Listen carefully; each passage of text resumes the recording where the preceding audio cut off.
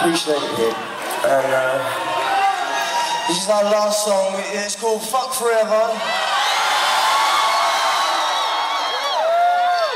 As soon as Michael's ready.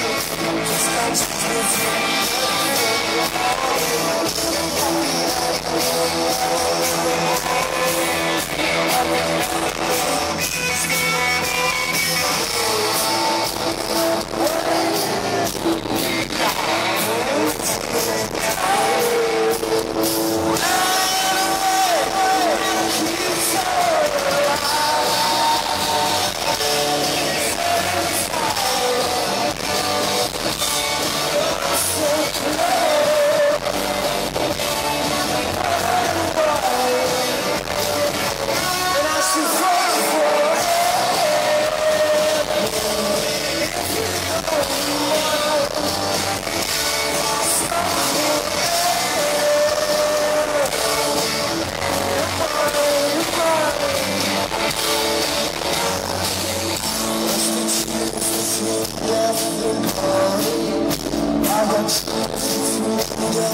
got